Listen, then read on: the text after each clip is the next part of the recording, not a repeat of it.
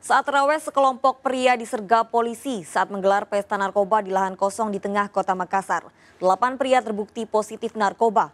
Mereka diduga mengkonsumsi tembakau gorila dicampur dengan narkotika ganja.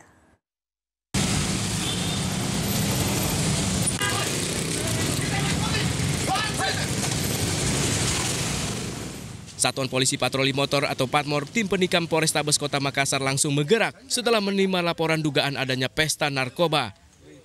Petugas menggerebek sebuah lokasi di Jalan Daeng Tata 1, Kecamatan Tamalate, Makassar. Sekelompok pemuda ditemukan berkumpul di sebuah lahan kosong, diduga menggelar pesta narkoba berupa tembakau gorila dan ganja.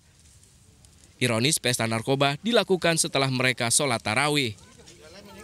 Beberapa pelaku hanya bisa pasrah saat ditangkap polisi karena tengah mabuk berat.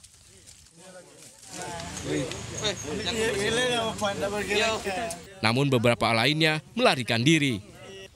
Polisi pun langsung memeriksa sekitar lokasi mencari barang bukti. Sejumlah barang bukti ditemukan disembunyikan para pelaku di semak-semak.